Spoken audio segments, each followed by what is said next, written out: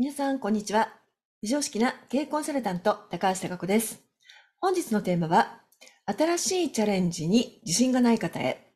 あなたの実績と自信を支えるのは、圧倒的な〇〇〇。3文字です。はい。というテーマで本日お話をしてみたいと思います。えー、私、あの、いろいろな機会でですね、イベントキャンペーン的にですね、期間限定、人数限定で、えー、単発セッションとかを、あの、すごく格安化、まあ、場合によっては無料とかでお引き受けするときがあります。で、そんな時に、ある程度の人数をまとまってお受付するような時っていうのが、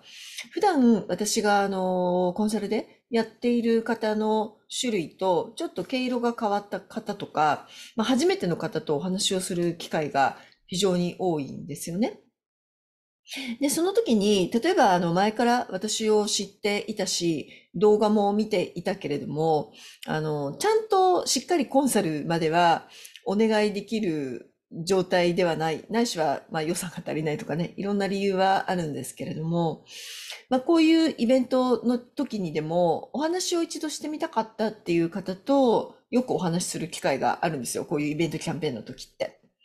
で、その時に、あのー、何かの新しい方とお話をしてると、ああ、そこが足りないんだっていうのが分かってきたことがありましてですね。まあ、それを今日伝えようかなと思ったのが本日のテーマです。えー、テーマ、新しいチャレンジに自信がない方へ。あなたの実績と自信を支えるのは圧倒的な〇〇〇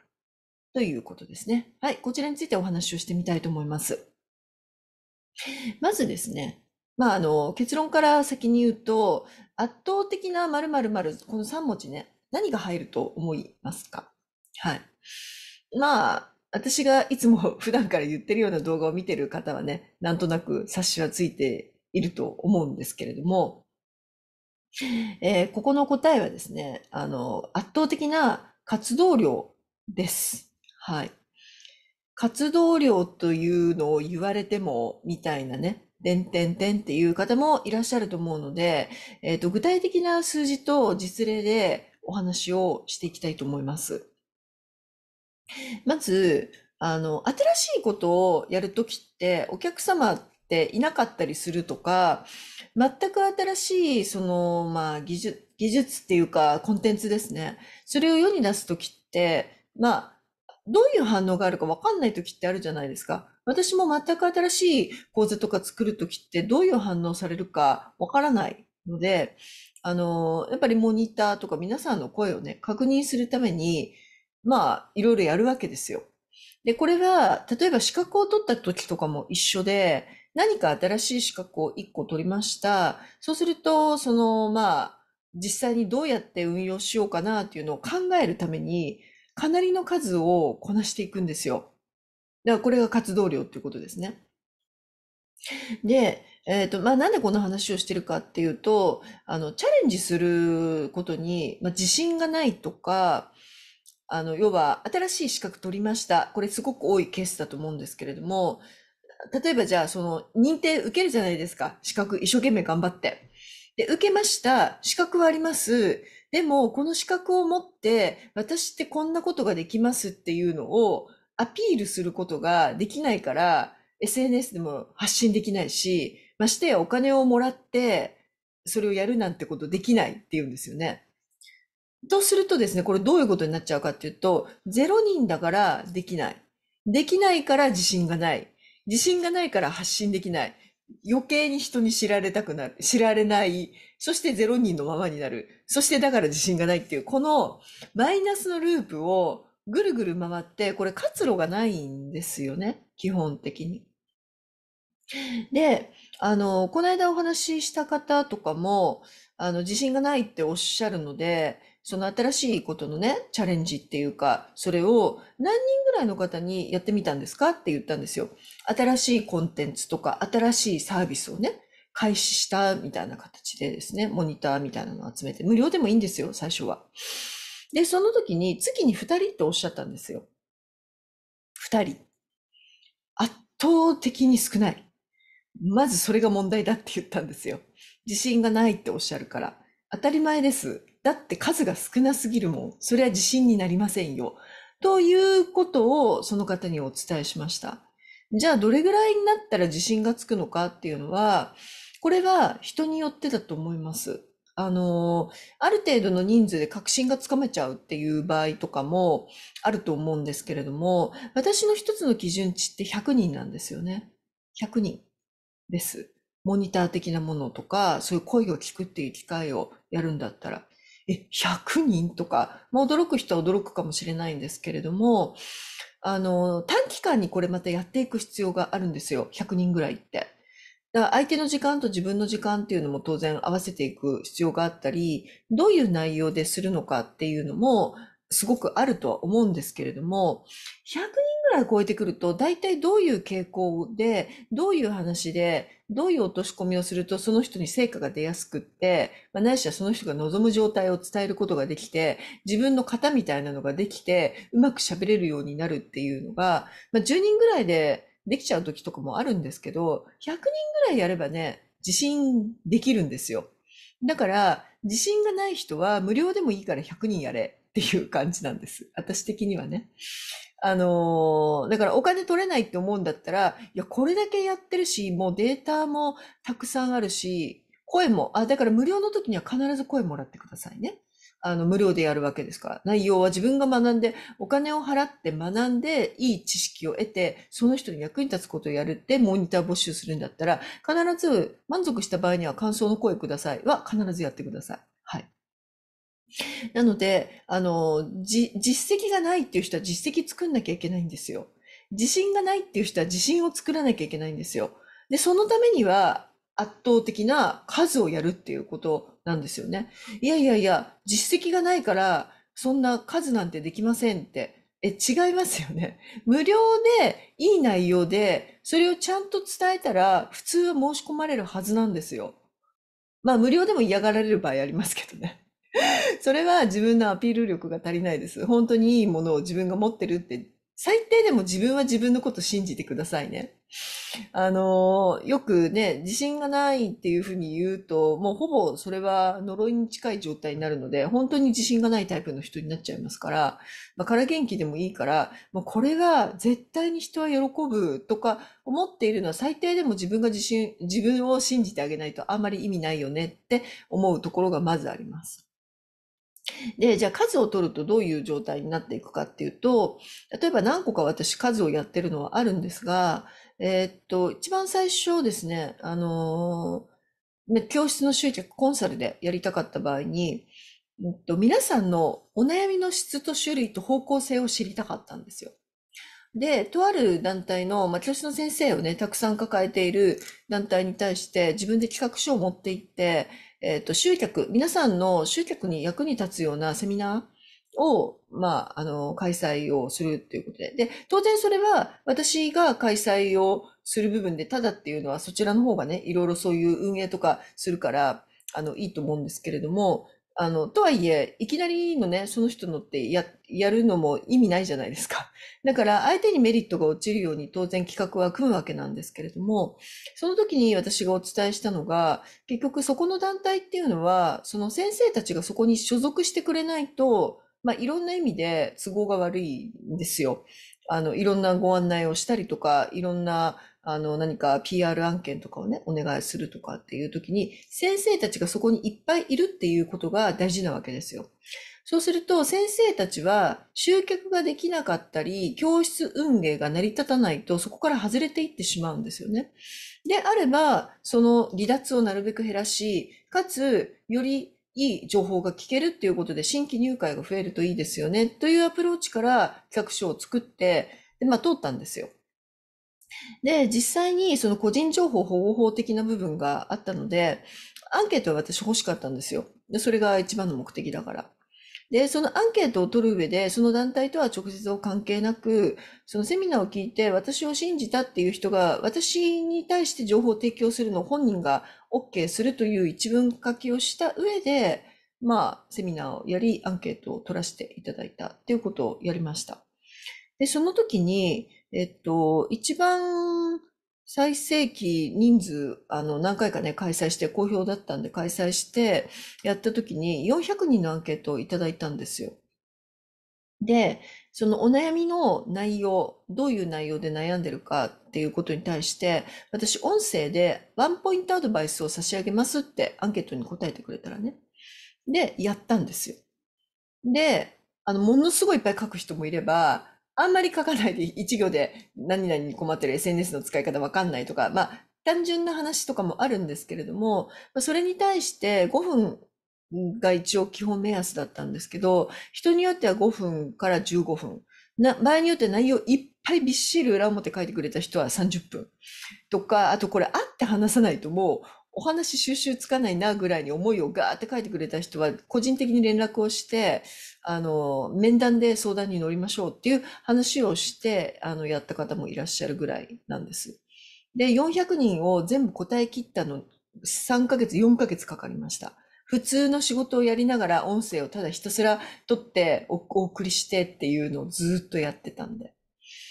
で、その中で分かったのが何に困っていて、どういうものだったらその人たちは喜び、そして肝は何を教えればいいのかっていうのが400人のデータぐらいあればですね、まあ、大体分かったんですよ。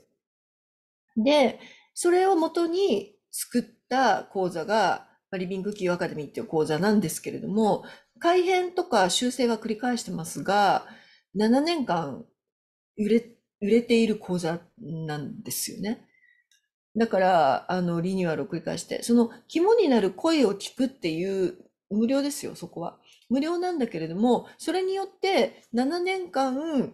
行くような基礎の基礎の何を知りたいかっていう根源的な悩みですね。それを知ることができたアンケートが、その400人のアンケートなんですよ。もちろんその後もやってますよ。ちょっと大規模的に200人のアンケートもらうとかね。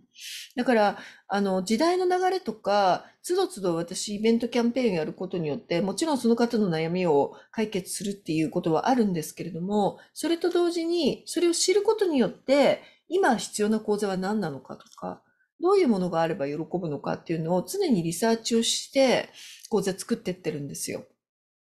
で、これは、コンサルだからそれやったんですよねって思う方もいらっしゃるかもしれないんですけど、私は必ず生の声を基本聞くようにしています。なので、新しい資格を取りました。例えば、私はカードリーディング、あの、できるんですけれども、カードリーディング資格取って1ヶ月以内に200人見てるんですよ。200人。え、え、え、みたいな感じですよね、人からすると。どうやって200人見るのか。えっ、ー、と、簡単なのは飲み会とかそういうところで誰か一人やってあげればいいんですよ。3分ぐらいでいいから。パッパッパッとカード引いてもらってですね。あの、まあ、私の場合にはビジネスセッションと組み合わせるのがメインのものなんですけど、読み方の練習をしなくちゃいけなかったんで、資格取っただけだと頭に入っていかないから、まあ、こういうカードがあって、まあ、これをご本人の潜在意識が出るわけですよ。で、それとなぞらえて、本当はこういうふうにしたいんだよねっていう方向性と、まあ、ビジネスの方向性を掛け合わせた状態でアドバイスをするっていう、まあそういう内容なんですけどね。ちゃんと30分やるときには。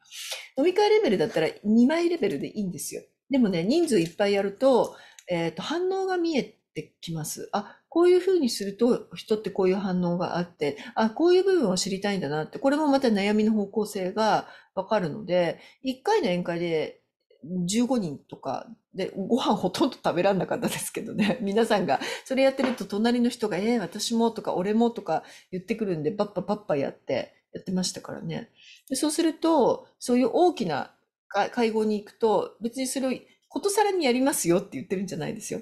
あの、資格を取って、今練習中とかつって言って、あので、それはどんなものなの？って言うからこんなものでって、え、面白いねって言うと、まあそういう時にはずっと持ち歩いてたので、あ、やりますよ、つって言って、やってるのを隣の人が見る、隣の人がいる。で、人が集まってくるから、またやる、またやるって言って、だいたいご飯食べれずに15人とか20人とか見ていく感じをやって、で、あと私の知ってる人とかでも、まあ、資格取ったから、ちょっと今、リーディングの練習してるから、よかったらやるとか言うと、もう本当喫茶店感覚ですよ。その場で2枚ぐらいポンポンって引いてあげて、これこれこれ。っていうことは、どこでも、いつでも、できるようにしとかないといけないわけですよ。カードの意味とか、組み合わせでどうとか、どういうものになるとか。で、もう実践が早い。覚えるのは。もうやる。とにかくやる。っていう感じでやってて、それもだから200人ぐらいやってるわけですよ。で、あと先日声解析って言って、その方のね、声が持っている本来の姿とか向かいたい方向とか、そういうのをこう、素晴らしいね、システムがあって、あの、データでちゃんと可視化できるんですよね。で、それを解説するっていうことで、まあ、どういう内容とどういう方向性でどういう組み合わせで解説するかっていうのは一応習いますよ、授業で。だけど、生身の人間の人に本当にやってって組み合わせをきっちり言っていってあげるのってもう、もう修練と練習でしかないんですよ。だから資格試験で実技っていうのがね、あったんですけど、システムはもう習った瞬間から練習で使ってっていいっていうことだったんで、試験までに私ね、30人ぐらいもう見てるんですよ。実質に。で、さらに試験終わった後とかも、今もやってるんですけれども、あの、見ますよっていうキャンペーンをね、あの、やることによって、まあ、40人ぐらい見ていく。だから、ここ2ヶ月で70人ぐらい見ていく感じになるんですよ。だから、あの、そうすると、あ、こういうのがお悩みなんだな。で、割と私のところに相談に来る方の性質とか声の波形とかが大体似てるなっていうのが分かって、まあ個人事業主の方が多いからなのかもしれませんけれどもね。